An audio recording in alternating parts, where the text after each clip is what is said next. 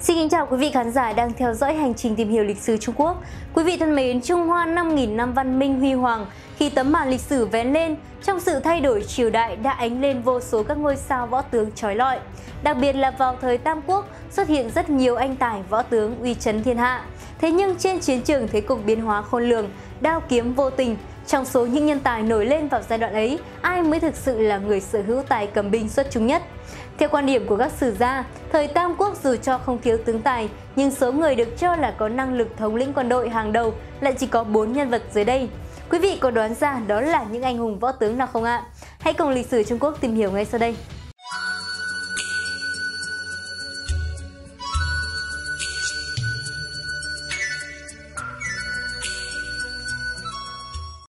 Cuối thời Đông Hán, thiên hạ rơi vào thế cục hỗn loạn, các thế lực chư hầu nổi lên khắp nơi.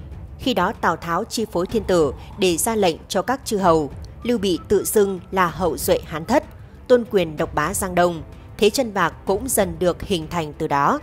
Thế nhưng trong giai đoạn nhân tài nổi lên khắp nơi như thời bấy giờ, người sở hữu năng lực xuất chúng hơn cả chỉ có bốn nhân vật dưới đây.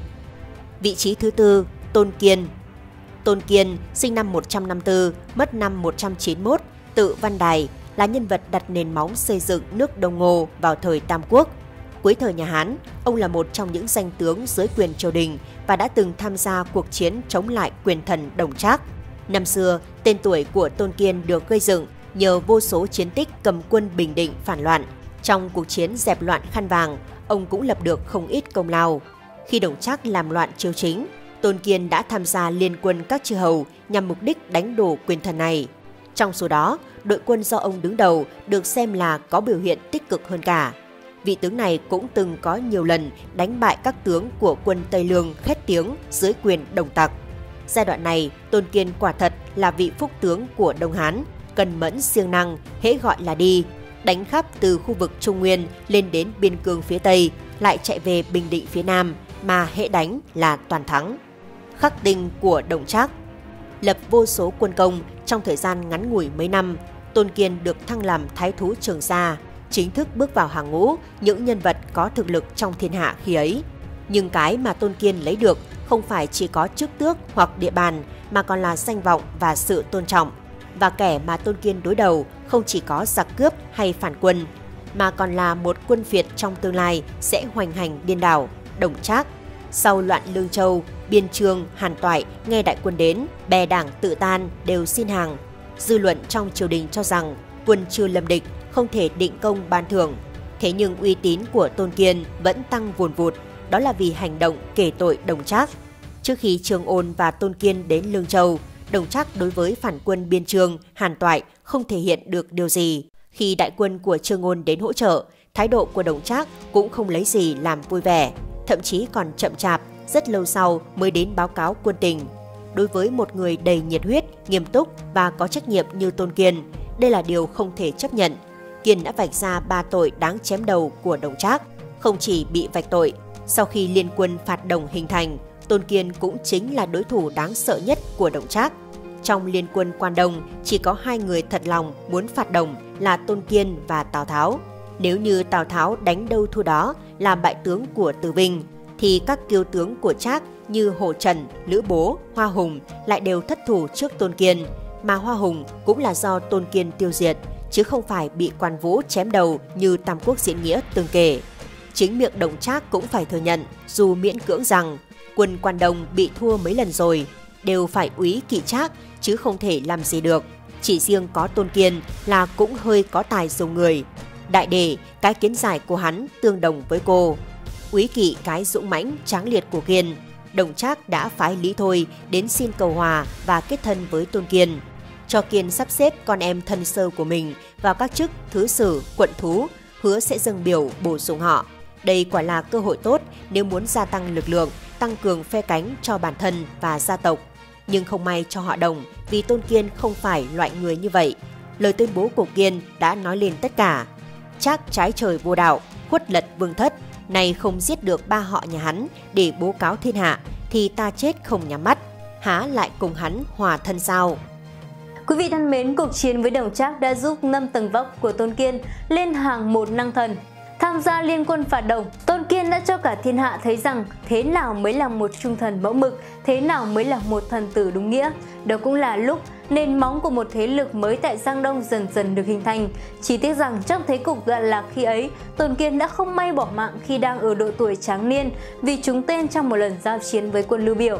Và vị tướng tiếp theo sở hữu tài cầm quân xuất chúng là một nhân vật tài giỏi thao lược, năng lực xuất chúng, thậm chí còn được hậu thế suy tôn làm võ thánh. Quý vị có đoán ra đó là nhân vật nào không ạ? Hãy cùng chúng tôi tìm hiểu ngay sau đây. Vị trí thứ ba, Quan Vũ. Quan Vũ, sinh năm 159, mất năm 220, tự Vân Trường, là vị tướng nổi danh vào cuối thời nhà Hán và thời Tam Quốc.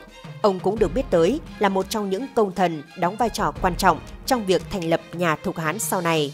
Năm xưa, Quan Vũ từng đầu quân cho Lưu Bị ngay từ buổi đầu lập nghiệp. Ông dẫn binh Nam Trinh Bắc chiến khắp nơi, trở thành một viên hổ tướng hàng đầu trong tập đoàn chính trị Thục Hán.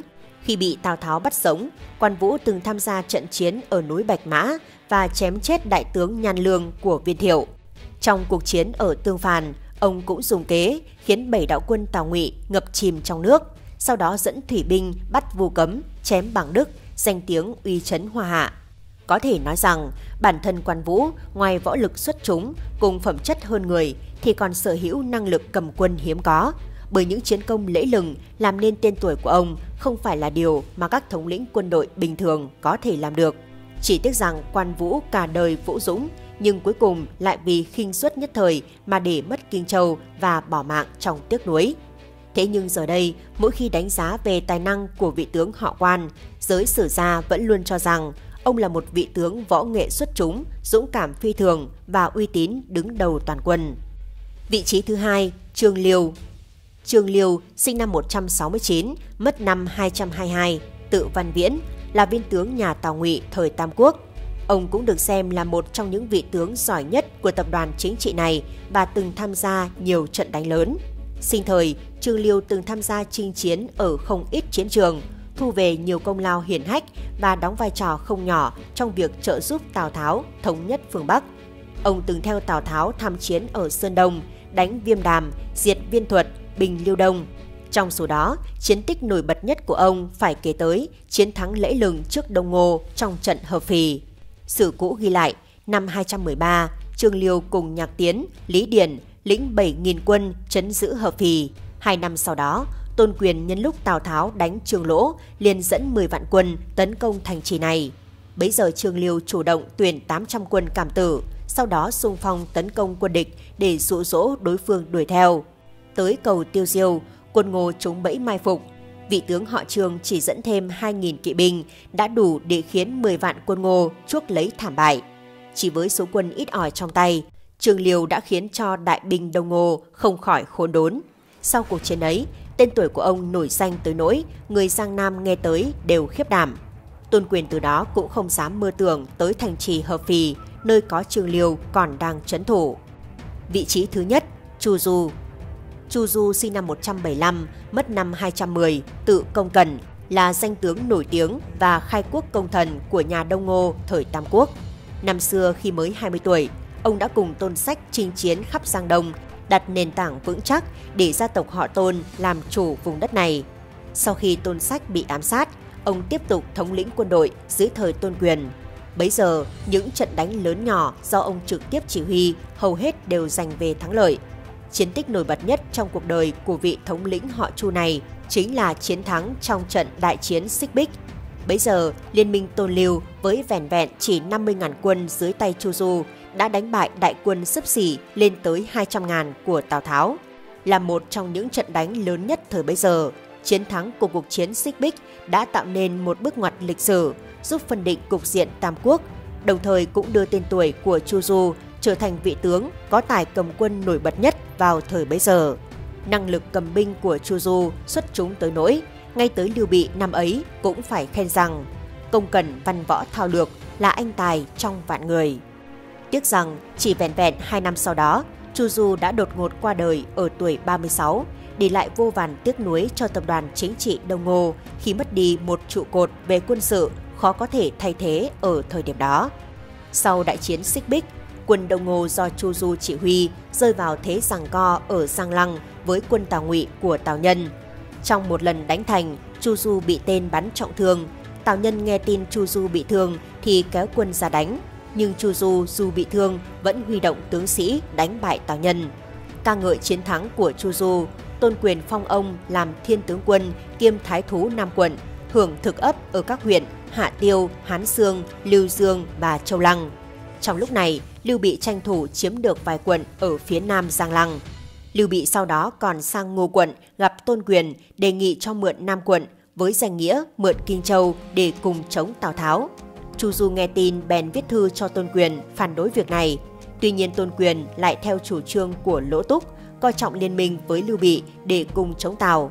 Chu Du bèn nghĩ kế khác, đề nghị Tôn Quyền đánh thục, diệt Trương Lỗ. Sau đó, Tôn Quyền liên kết với Mã Siêu cùng chống Tào Tháo. Chu Du nhận trọng trách cùng Tôn Quyền đánh chiếm Tương Dương, truy kích Tào Tháo, tiến lên phía Bắc lấy Trung Nguyên. Kế sách này của Chu Du được tác giả Dịch Trung Thiên trong cuốn Phẩm Tam Quốc đánh giá là có tầm nhìn xa trông rộng. Bên ngoài, Tôn Quyền vừa phải đối địch với Tào Tháo, bên trong lại có thể ngầm tìm cách giải quyết mâu thuẫn với Lưu Bị. Tôn Quyền cảm thấy chủ ý này không hề tệ, liền cho Chu Du quay về Giang Lăng chỉnh đốn binh mã. Năm 210, Chu Du trở bệnh trên đường trở về Giang Lăng, nhưng vẫn cố gắng đi đến Ba Khâu, kiểm tra khả năng chiến đấu của binh sĩ. Sau khi đại quân Đông Ngô xuất phát không lâu, Chu Du qua đời khi mới 36 tuổi. Sau này khi xưng đế, Tôn Quyền có nhắc đến Chu Du. Cô phi Chu Công cần bất đế hĩ, không có Chu Du thì không thể trở thành hoàng đế như ngày hôm nay. Quý vị thân mến, những anh tài võ tướng mà chúng tôi vừa kể trên đều là những nhân vật kiệt xuất của thời đại Tam Quốc. Mỗi người đều có những tài năng rất đáng nể phục, khiến nhiều kẻ thù phải khiếp sợ. Mặc dù họ đã mãi mãi ra đi, nhưng đã để lại nhiều bài học cho hậu thế và được lưu danh trong sử sách, xứng đáng là bậc anh hùng của thời đại. Và quý vị nghĩ sao về những võ tướng này? Hãy để lại bình luận bên dưới cho chúng tôi cùng biết nhé. Cảm ơn quý vị đã quan tâm theo dõi. Xin kính chào và hẹn gặp lại.